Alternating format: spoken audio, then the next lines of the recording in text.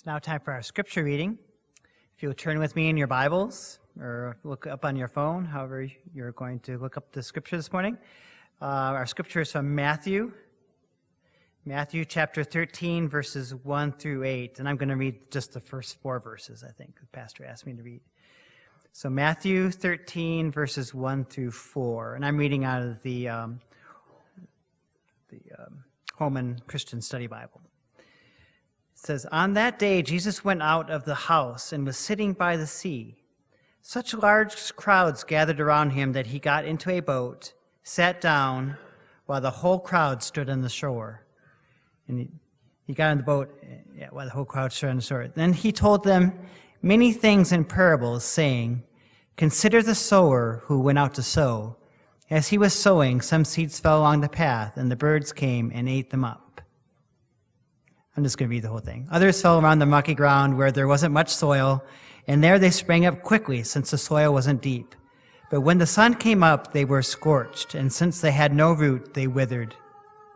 Others fell among the thorns, and the thorns came up and choked them. Still others fell on good ground and produced a crop, some 100, some 60, and some 30 times what was sown. May the Lord add a blessing to his word this morning.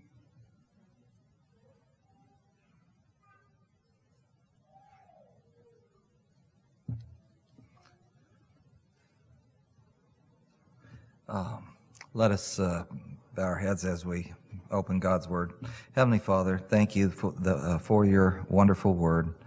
Um, Lord, uh, we need ears to hear and hearts to understand um, because uh, we have have uh, so much going on in our lives that uh, sometimes it's it's it's hard to sit down and listen to you.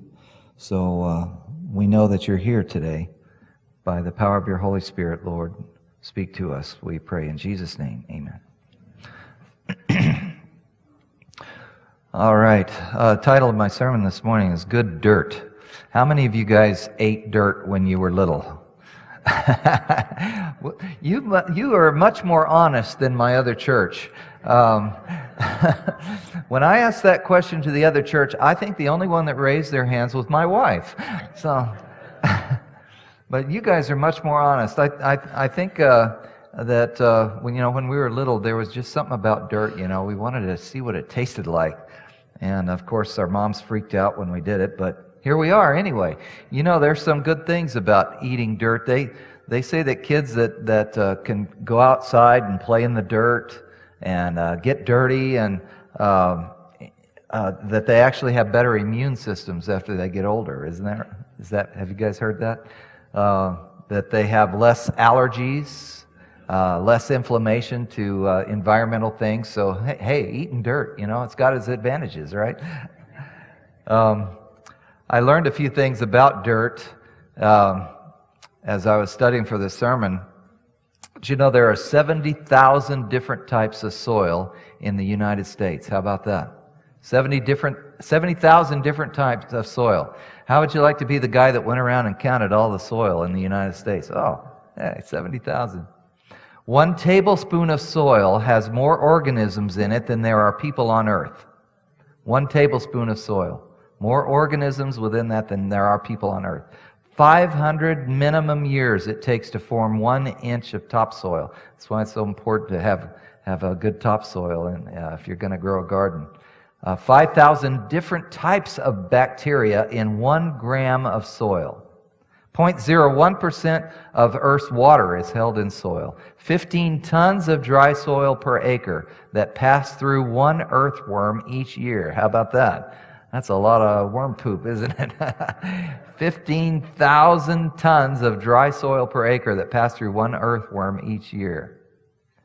Um, 1,400,000 earthworms can be found in an acre of cropland.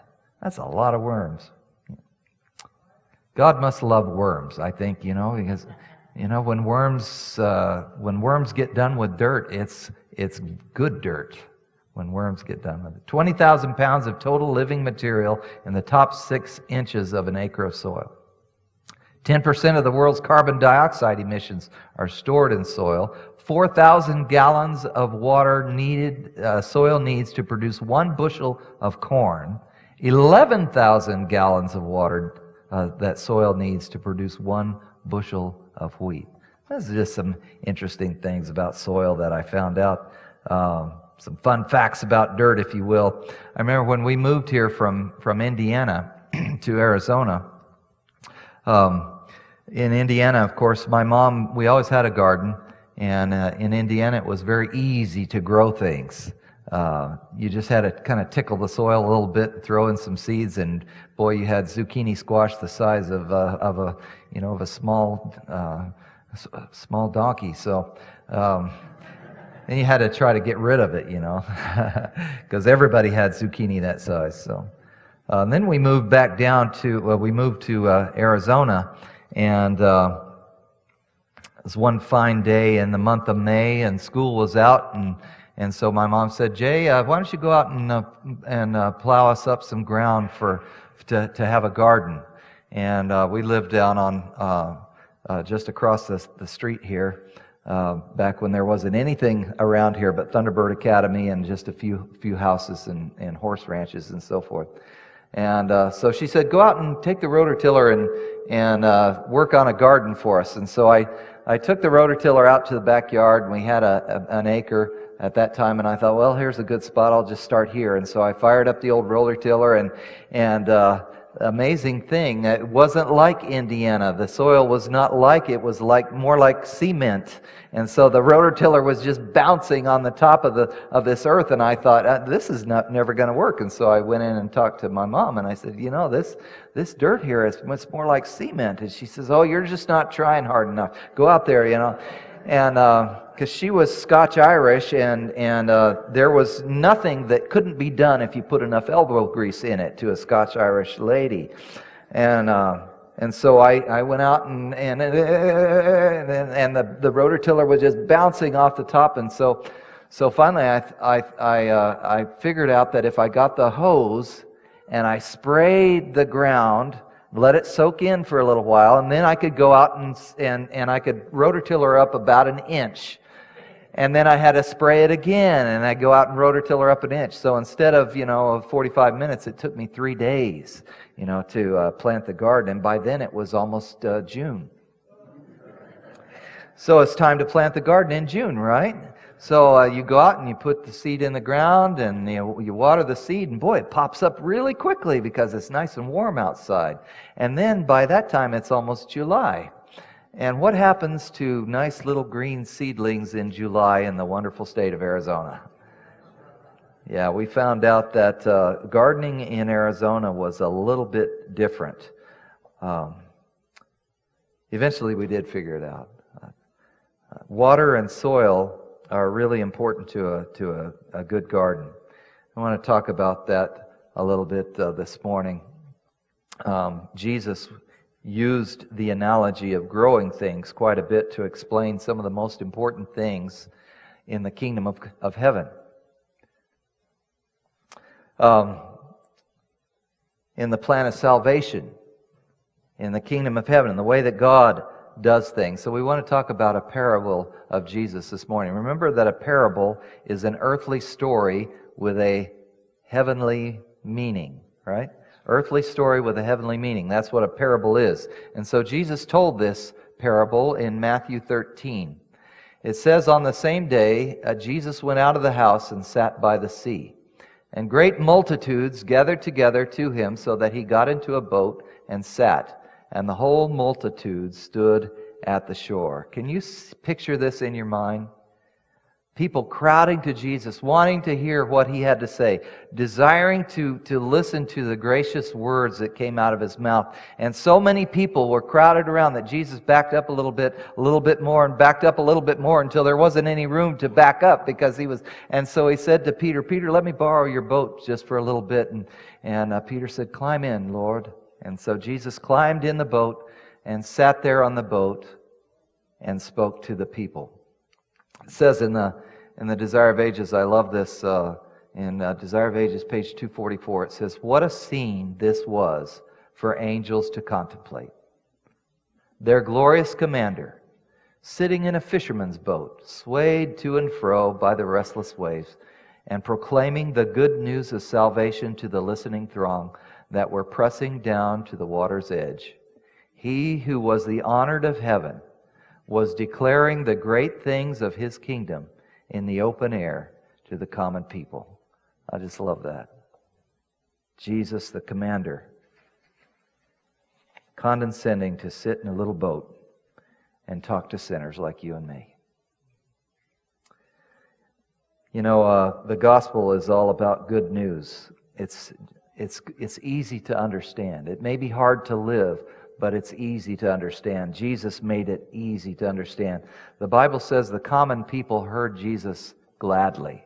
Common people. I believe that God loves common people. And I'm thankful that He does. Jesus' greatest lessons were given to common people. And that's a lesson to you and me. Don't think that God overlooks you because there isn't something special about you. God doesn't overlook anybody. He loves common people. He gave his best stories and spoke his best parables and the deepest things of salvation God gave to common people, just like you and me. He loves each one of us as though there were not another person in the world. So to God, you are not common. You are not common. You're special to him. So Jesus continued uh, uh, on telling this story in Matthew. Uh, Behold, a sower went out to sow.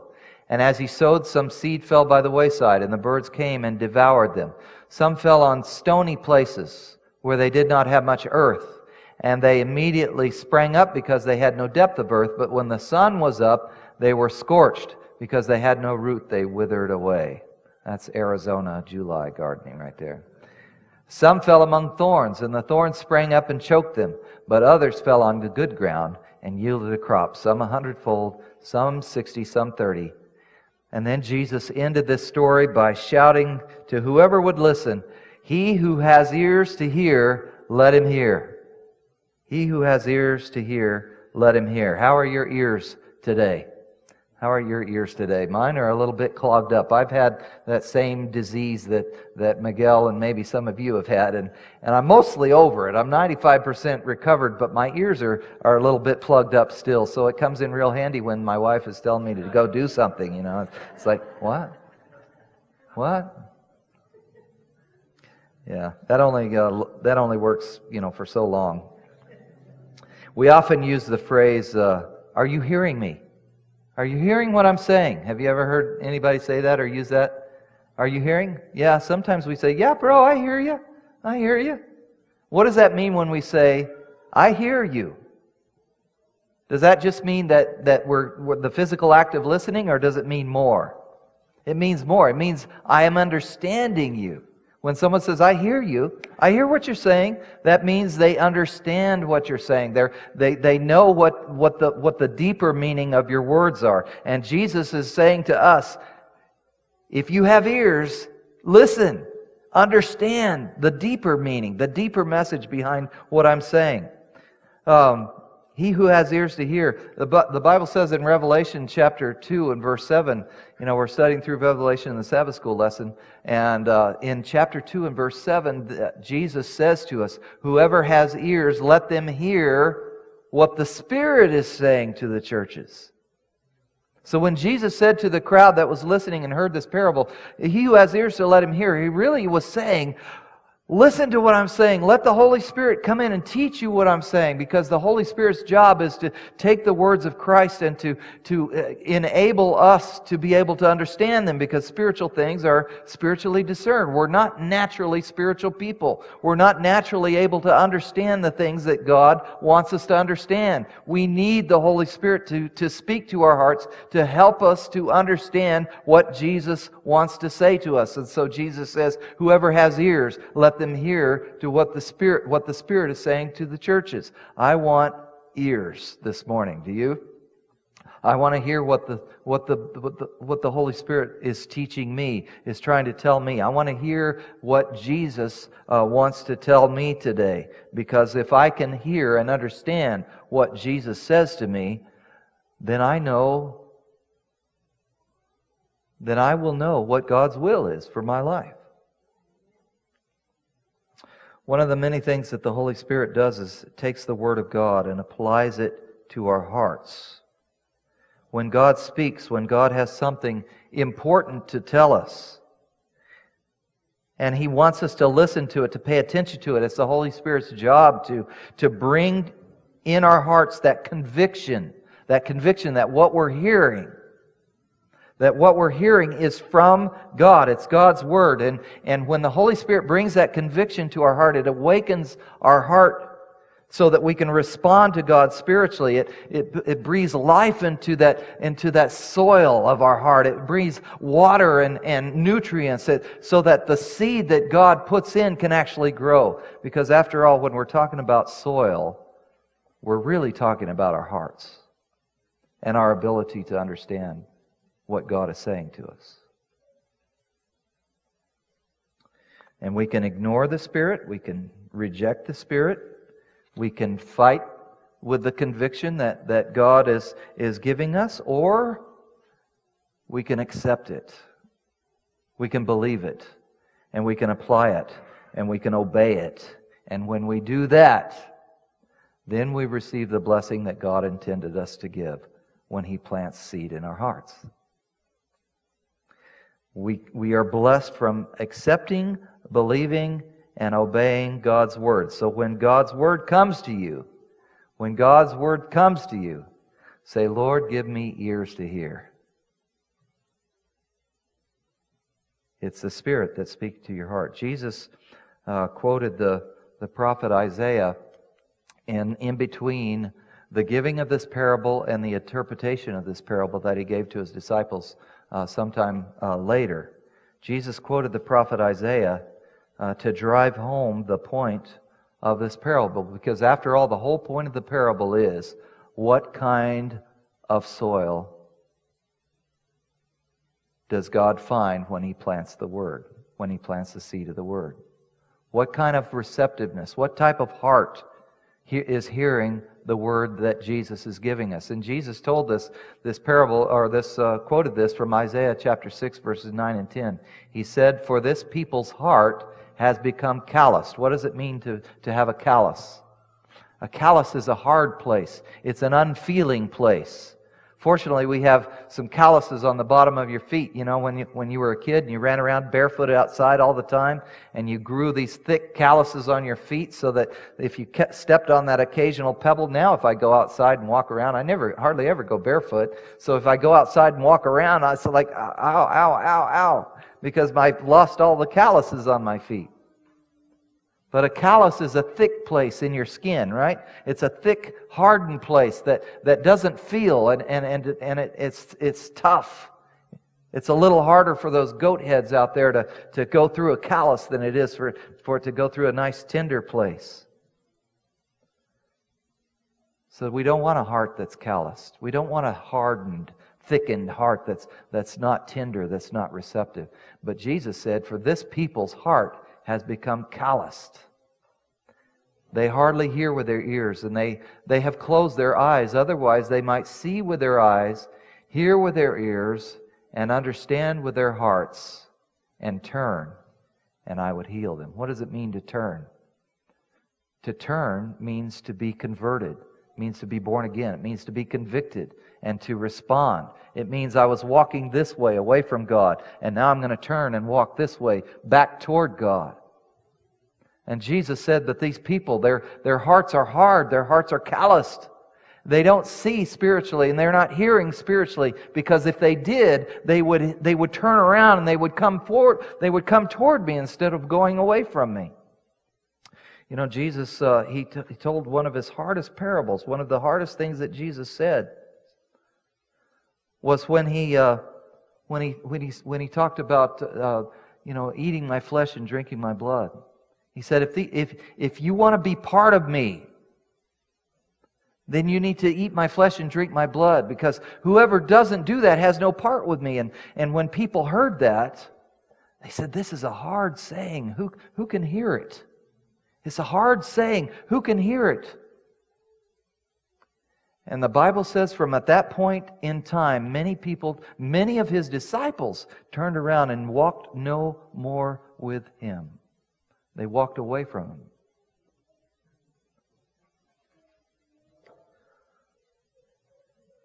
You know, uh, I want to give a little Bible study within the Bible study uh, today. Um, this might be sound a little bit controversial, controversial, but I want to I want to uh, uh, just tell you this morning that God does not condemn us for our sins. God does not condemn us for our sins. We are accepted by God or condemned by God according to our response to the gospel. God does not condemn us for our sins. We are condemned when we reject the gospel. We are accepted when we accept the gospel. Um, let me show you a few texts uh, just quickly about that. The Bible says that all have sinned and fall short of the glory of God. How many have sinned? All have sinned. Sin, uh, the sin in our lives is not up for debate. You have sinned. I have sinned. We all have sinned. We all fall short of the glory of God. But listen, what Jesus said, he illustrated in John chapter 8 and verse 11. When the woman was caught in adultery and came to Jesus, and they caught him in the very act, she was caught in sin. In the, in the, there was no question. There was no arguing. It was open. It was, it was what it was. And she expected condemnation from the rabbi. What does she get from Jesus? Neither do I condemn you. Go and sin no more. Jesus did not condemn her for her sins. She does, he does not condemn you and I for our sins. Listen, for the Son of Man did not come to condemn the world, but that the world through him might be saved. That's John 3:17. You know, a lot of times we, we love John 3:16. We, we everybody knows it. But the but an important verse is John 3:17. The Son of Man did not come into the world to condemn the world. The world was already condemned. But that the world through him might be saved. He who believes in him, John 3:18, is not condemned. Where does condemnation come from? Where does, where does acceptance comes from? It comes from believing in the gospel, accepting the gospel. Condemnation comes, he who does not believe is condemned already, because he has not believed in the name of the only begotten Son of God. Where does condemnation come from? It comes from our rejection of the gospel.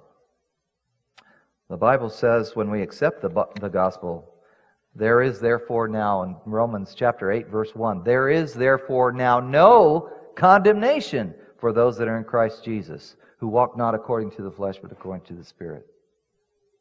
We are accepted and we are, or we are condemned according to our re- reception of the gospel. How many of you have uh, felt condemned by God? Have you ever felt condemned by God? Is that a is that a good feeling? To feel like you're under the condemnation of God? Let me, uh, I got a text for you.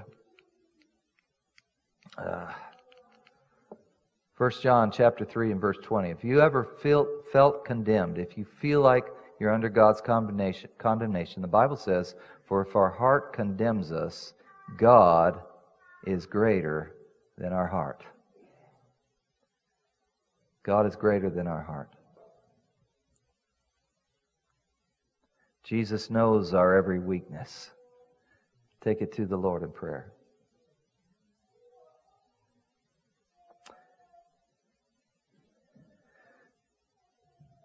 You know, I've, I've strayed a little bit now from our parable. Let's get back to the meaning of the parable of the sower. We find that in, uh, in Matthew chapter 13 and verses 19 through 23. Jesus said, If anybody hears the word of the kingdom, what is the seed that the sower goes to sow? It's the word of the kingdom, it's the good news of the gospel. Who's the sower? It's Jesus Christ Himself. If anyone hears the word of the kingdom and does not understand it, then the wicked one comes and snatches away what was sown in his heart. This is he who receives the seed by the wayside. But he who receives the seed on stony places, this is he who hears the word and immediately receives it with joy, yet he has no root in himself, but endures only for a while. For when tribulation or persecution arises because of the word, immediately he stumbles. Now he who receives the seed among the thorns is he who hears the word, and the cares of this world and the deceitfulness of riches choke the word, and he becomes unfruitful. But he who receives seed on the good ground is he who hears the word and understands it, who indeed bears fruit and produces, some a hundredfold, some sixty, and some thirty. I want to make a couple of points in closing. A farmer plants a crop really for only one reason to reap a harvest. That's the only reason that a, a farmer sows. He wants to reap a harvest. The sower sows his seed for one reason he wants it to bear fruit. He needs it to bear fruit. In this parable, Jesus is sowing the seed of the gospel. He wants the gospel to bear fruit in the lives of those who hear his word. But here's the second point that I, that I want to make it's the condition of the soil that determines whether or not the seed will bear fruit. It's the condition of the soil that determines whether or not the seed will bear fruit. Because after all, we're not really talking about dirt here, are we? We're talking about human hearts. We're talking about the ability to hear what God is saying to us and respond in a positive way. Soil represents the human hearts. This whole story is about God wanting to share the good news of the gospel with us and describing our response. Our response. How's your heart this morning? How's the dirt in your heart? Because it's the condition of the soil that will determine whether or not the gospel will bear fruit. Some people's hearts are so hard and calloused that the gospel seed just bounces right off.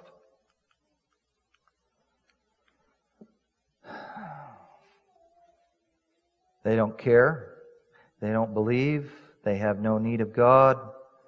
Religion is just a crutch for the weak. It's an opiate of the masses. The thought of Jesus dying on the cross for their sins doesn't move them, doesn't affect them in any way.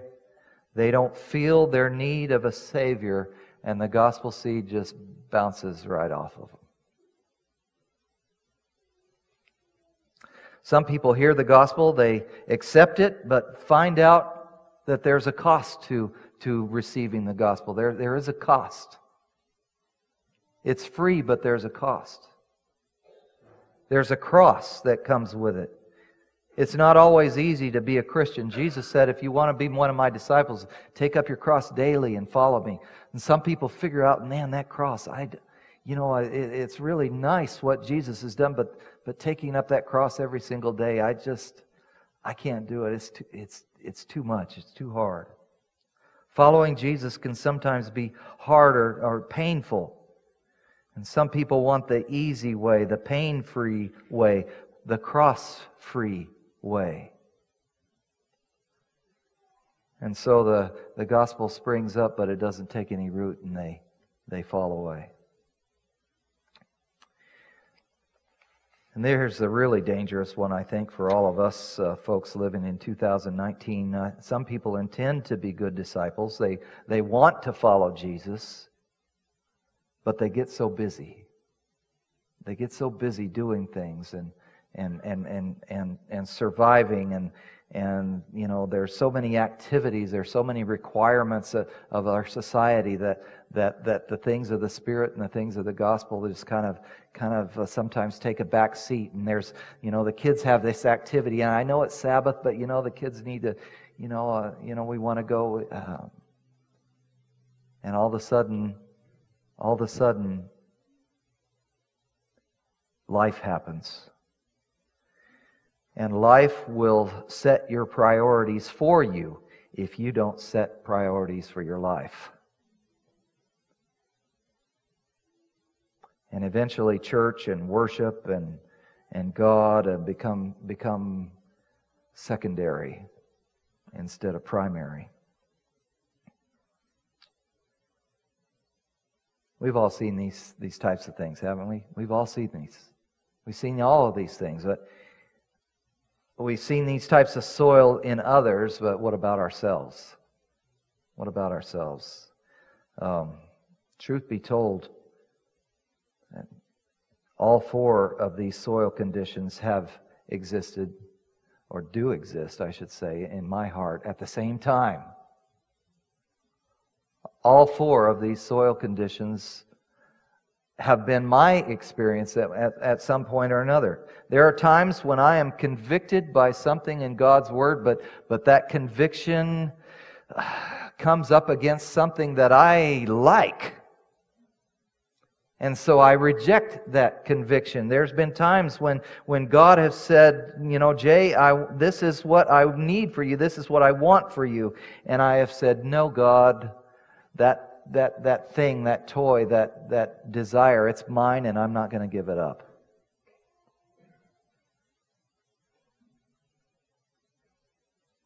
Stay out of that room, God. Uh, don't, don't open that closet, God. You can have the rest of the, of the house, but that closet, that's mine. Don't go in there. And the gospel seed bounces off. There's been times when God has told me to love someone or help someone, and, and I've hardened my heart and refused and done what I wanted to do or what I felt like doing. There's been times that I have wanted to do God, God's will, but, but it got too hard and I quit. Or I got tired or lazy or scared or didn't trust God for courage or strength. And, and I started well, but didn't end so well. And yes, there's been times when I've gotten so busy and put other priorities in front of spiritual things in my life. But God's call to me for my ears, for my heart, is seek ye first the kingdom of God and his righteousness, and all these other things will be added unto you as well. If I don't set that as a priority in my life, then my life will set other priorities for me. Seek ye first. I know that as a fact, but I haven't always lived it. I have had all three of those soil conditions in my heart at one time or another.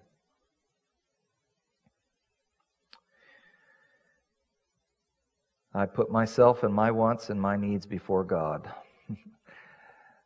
Sometimes I feel like dirt. You guys ever felt like dirt? You know, when we lived in Texas, um, there was this uh, radio show that I that I heard. Uh, um, that I used to listen to. Um, early Sunday morning, on my way to work as an emergency room nurse, he came on early Sunday morning. I guess that was the that was the time. That was the time of uh, of uh, for garden shows in Texas.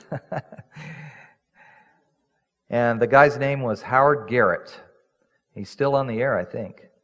And people would call in and say, You know, Howard, my tomatoes, I just can't get my tomatoes to grow.